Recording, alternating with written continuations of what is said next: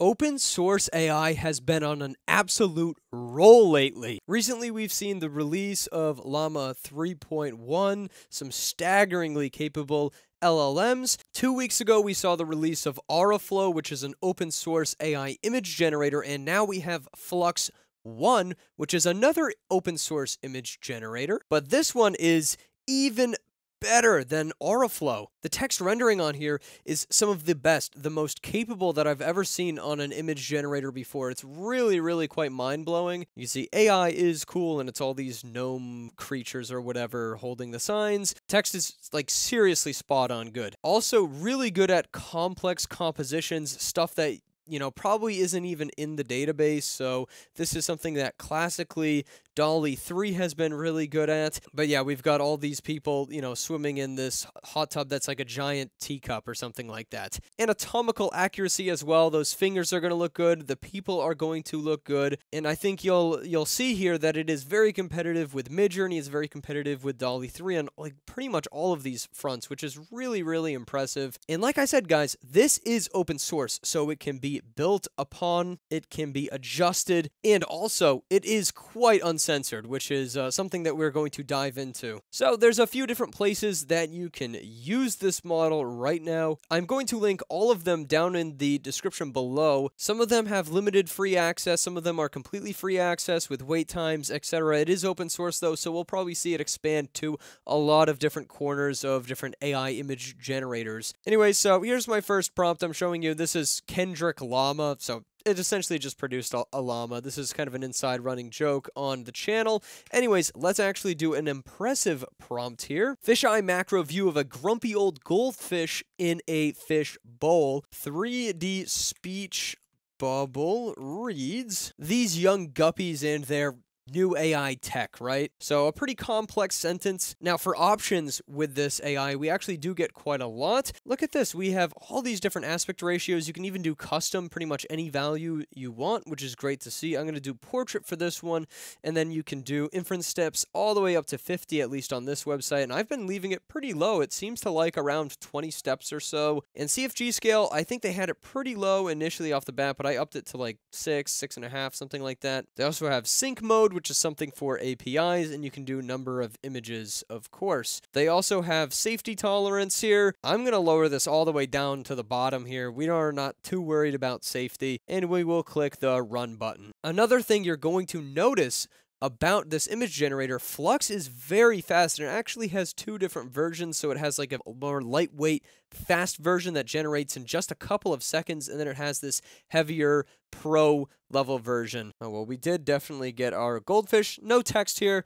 That is a little strange. All right, I put the safety back to default and it seems to have worked fine. So maybe don't touch the safety setting, at least on this website. It could screw up your text. Anyways, you can see it got it almost perfect over here. It says these, these young guppies in their new AI tech. And I like the speech bubble. It's very close to being perfect. And you can see it's got like this old goldfish. He's kind of sticking out of the fishbowl, which is a little annoying, but you know what? It's not a bad generation. And re-rolling the generation, we can see it does it again. This is an even better image, I think. You know, we have close-up of the goldfish's face. We've got that 3D speech bubble. These young guppies in their new AI tech. I mean, it's like a perfect speech bubble, honestly. Perfect text right off the bat. You think DALL-E 3 can get this right right off the bat? It might be able to, but not sure. I'm also going to toss it an ideogram as well, which is classically very, very good at text. You can see all four times for ideogram AI, it pretty much got it right. Just a little bit of screwed upness in the guppies over here, but other than that, these are all really consistent and really good from Ideogram AI, but still not as cheap as the brand new Flux. And you can see DALL-E 3 with our first try here did not quite get it correctly. You can see the text is a little bit screwed up. So again, let's just re-roll the dice another time. Didn't quite get it perfect this time, but it's pretty dang close. For an AI model that is open source right out of the box, incredibly coherent. All right, so now I do want to move on to the whole safety thing. I'm going to put it all the way to its lowest. Let's just try some famous people, some famous figures. Seems to have worked quite well in this circumstance. Let's try another celebrity. Seems to do quite a decent job. Very natural looking people, I will say that. Let's try combining a famous person and a famous property. And I think it actually did a really, really good job here. Anatomically, the hands look perfect, and it's literally just Spider-Man with that that exact hair, man. That's crazy. that actually came out way better than I thought. Let's try another celebrity now. All right, this time we kind of just got a normal Spider-Man. I mean, it did a really, really good Spider-Man, but his hands are a little messed up, and it's definitely not Willem Dafoe. Let's just try adding that we can see his face. Ooh, so it doesn't know this celebrity nearly as well, but still not a bad Spider-Man image overall. Good anatomical hands, good face and good logo. Let's just try like the Coca-Cola logo. Oh gosh, that is kind of insane. We can see all these cans of Coke and it's just a perfect little bottle of Coca-Cola with a perfect logo. So it's definitely got lots of copyrighted material in there, which means for most of us, lots of fun. But you don't want to be malicious with it because that can ruin the fun for everybody. Kirby sitting in the Oval Office in a suit as president. Oh, folks. That is not Kirby, I don't think, interestingly enough. Kirby from Nintendo Kirby. Oh, there we go. Okay, so it's kind of just Kirby's entire body as the president's head sitting in the Oval Office. Not bad, though. We can see his nameplate that spells President Kirby. Okay, this is maybe a little bit better. Still really off-putting and creepy. The hands are not too bad, though. And obviously not spelling President Kirby perfectly there. Just up the CFG maybe a little bit and rerun it. There we go. Upping the CFG gets us some better results here. We can see Kirby kind of wearing a suit. I mean, that's not too bad, right? President Kirby, there he is. it gets the job done. This model, I mean, it's really, really impressive. Can you get this, you know, maybe in DALL-E 3 inside of ChatGPT? Probably not. Yep, can't generate it because it's uh, not matching the content policy. Ideogram will probably allow us to generate this though, so let's give it a shot real quick with Ideogram. Does Ideogram do a better job? Eh, not really. I think the President Kirby looks better and it's very, very consistent across all of these, but Kirby himself isn't wearing a suit at all, and it's definitely like this really weird, like off brand version of Kirby. It's like, yeah, don't worry, we have Kirby at home, and then this is Kirby at home. Like, why does bro have a nose in two of these? Something ain't right here, man. I gotta say, I like this. Now we'll do Obama posing for a photo with Kirby. And dang, that's pretty good. It kind of looks like a Kirby stuffed animal, but that's really not that bad at all. I'm actually really satisfied with this. This is quite good. Now they're posing, you know, for a for a nice photo together. Can we add Walter White into this and do this dynamic trio, ultimate rotation. Okay, it looks like it combined Obama and Walter White together and then put Kirby on someone's head. Let's give this another shot. Maybe we'll go a little bit wider. These prompts that I'm running, I want you guys to understand that they are not easy prompts. These are difficult prompts for the AI to get correctly. Not easy by any means, but hey, there we go. All right, we've got Kirby, Obama, and Walter White posing. The Walter White kind of doesn't, it's not perfect, but it's good enough. Like, this is a this is definitely a good image. Makes me happy to see they're all hanging out together. Can we make this even wider? And Super Mario from Nintendo Mario, and let's add a fifth person in an anthropomorphic lemon character wearing sunglasses. This prompt's getting really complex now. The flux just, I mean, it keeps impressing me. I've been pushing it all day now. I'll show you some of my older generations as well and some other things that you can do with this thing, but it's really, really shockingly good. All right, we got a pretty decent Obama. This looks like a minion, some weird lemon dude, and fake Kirby. Again, this, yeah, this is really starting to push the model. We gotta try to get it to produce some good results. See, it's starting to struggle now that we have five different characters. Obama keeps looking pretty good, but, you know, we got very, very yellow Mario wearing sunglasses. We got Kirby in the background and this creepy guy. Let's this prompt. Okay, again, we got Mario, we got Obama, we got this lemon guy. it's starting to fall apart. I think the lemon character might be screwing it up. And okay, that's close enough. Very good Obama. Kirby's looking a little whack. I don't know what they've been giving Kirby. Again, that is uh, definitely Walter White that we have at home, not Walter White from Out and About, and not Mario, but Luigi. So, you know, some variation in there, but overall, the composition of the image is quite good, anatomically good, and very good in terms of getting all those characters in there, even if it's not perfect. Let's, again, we're going to try this in Ideogram AI, which I consider to be probably the best uncensored model we can get our hands on that is not open source, I would say does about just as decent of a job. I think the Walter White definitely is looking a little bit worse in all these examples. Again, Kirby's looking pretty knockoff.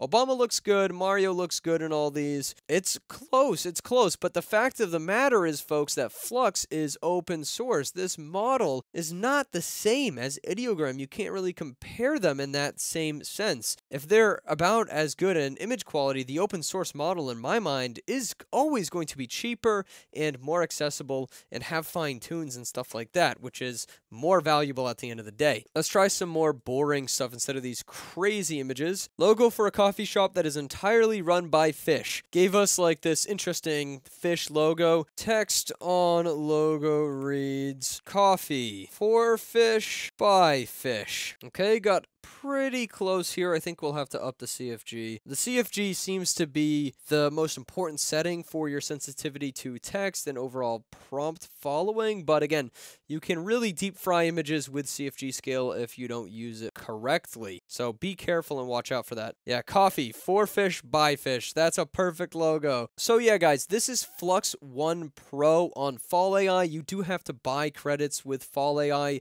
to be able to use this thing, but I am going to link it down below. You should be able to also use it on the flux.org website here. So let's just run a quick little prompt. We do have advanced settings here too, which is nice. You can see this takes about 20 seconds coming from Hugging Face, I believe. And by the way, this Schnell model, this is the smaller model that generates more quickly. Still delivers, in my opinion, really, really great quality. And there we go, image of a cat. So I think this is entirely free. I don't know if it runs forever. But yeah, this is the Schnell smaller, faster model. You can also access the smaller, faster model Schnell on this website right here, which is a Hugging Face Space. It's the official Black Forest Labs one. So this one, in my opinion, is a little bit faster than the flux.org use website. You'll notice I click the run button here. It's about a 10 second wait in total, and we get our image in actually less than 10 seconds here. And you'll see it got the text pretty close to being correct even the image and like the detail and the quality and stuff is not bad here. On this one, I don't seem to have any access to CFG scale, so let's rerun it, see if we can get some perfect text. I have gotten plenty of really, really good quality text,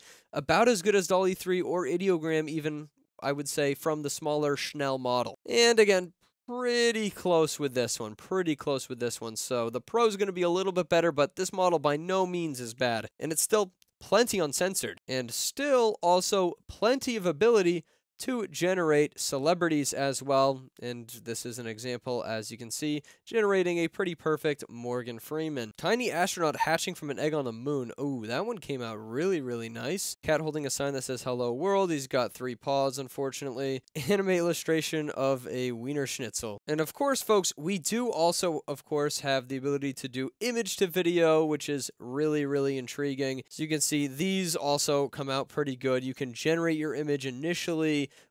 with Flux, and then you can parse it and input it into Gen 3 Alpha or Kling AI, any of the other generators, and get some pretty great video out of them as well. And of course, like if I were to prompt this the same way, you know, Obama holding a burger and taking a big bite, Gen 3 would never let me do that. But, you know, we can circumnavigate that by using Flux to make the image first and then put it directly in here. So that's a little tip for you guys as well, something that I've been doing lately. You can also access the Flux model here inside of replicate.com. This is another API website, so I believe you get some level of free use out of this, but then you have to start paying. And you can see, again, really, really great examples here. I mean, this is the Schnell model. This is the smaller model that generates in less than 10 seconds. And just look at the quality of this thing. It's really, really stunningly good. Now, the people behind this Flux model, Black Forest Labs, apparently are also working on some AI video generation model to compete with the rest. I will say the video generation is looking pretty good off this little demo, but this is all we have. It's just like this little teaser, state of the art text to video for all, apparently. All right. I'll see it when I can use it, you know what I mean? But like I said, these little demo videos that they have here are quite impressive. So let's talk a little bit about licenses and how you can actually use these open source models. So Flux Pro is going to be their API model. Then they have the Flux Dev, and this is the actual open source version of Flux One. It's open weight guidance distilled for non-commercial applications unless you contact them first. So it can be open source for commercial purposes. You just need to get in touch with them. You can't just go off and do it. Not a huge fan of that. Auraflow actually does have a better license in that sense, but they still both are open source, which is good for the community regardless. And the smaller Flux One Schnell model the very fast model. It's still quite capable, and this is Apache 2.0, so that's really nice. The code, the weights can all be found for this guy, and you can use it for whatever purposes you want. So Schnell is fully open source, Dev is contact for commercial use, and then Pro is locked under the API. Now, apparently this model comes from the original team that made Stable Diffusion, so that's why it uses a very similar setup. I noticed that in the options setting, but it's really great. It's really coherent, fantastic at text, along with a number of other things. You could see this image of a keyboard, for example, got QWERTY pretty much perfectly, and A, S, D, F, G, H, J, and K, and L. M's correct, N is correct, B is correct, V is correct, C is correct, X, and Z. I mean, it's got almost the whole alphabet here pretty much correct. So that's really impressive understanding of like the layout of a keyboard, for example. No way you would ever get this level of quality from any other image generator on the market right now. It also is the first AI to finally pass my specific car test. I asked for a very specific but popular car um, that has a lot of other kinds of models, and it was able to actually generate me an image of that exact car model with all the features that you expect and, and all of the correct body styles for that generation of car. So that was incredibly impressive that it was able to pull this off to this level of quality. Here's a little Batman pillow someone made from the community in my Discord server, which you should join, by the way, because we always talk about the latest and greatest stuff. And then here is like um, a sand sculpture of Darth Vader. I mean, the truth of the matter is, guys, straight up, this model is no joke. It's really, really high quality. It does plenty of different styles. It's super diverse. It's freaking open source. It is an absolute banger, and I'm really, really happy with how most of these generations ended up turning out. I, I really am blown away by this model. Open source is back. Stable diffusion might be gone, stability AI might have kind of fallen apart at the seams, but that doesn't mean that the people that are passionate about making open source AI aren't still around and aren't still working hard to bring us brand new models. This model is a real treat. It's going to be cheap. It's going to make great models way more accessible. So this one at least from me, comes highly recommended. I think this is the best open source AI model I've ever used in terms of image generation, and I think that you guys are going to have quite a bit of fun uh, generating and messing around with this model, especially with how loose and relaxed it is in terms of copyright and producing things that are maybe a little bit more unsavory. I know that's very popular in some little niches. All I can say to you guys is, you know, generate responsibly, use these tools to create things that aren't going to be harmful for other people. And yeah, I'm really happy that this has has come forth in the community. I feel like we really need this. We were stuck in like this rut for a while, not having any access to good open source models, and it feels like open source is really back. We got a Llama, we got these good image generators. Hopefully, that open source video generator is coming along the way from the same people at Black Forest Labs. I am super excited. Thank you so much for watching this video, folks. I'll see you in the next one, and goodbye.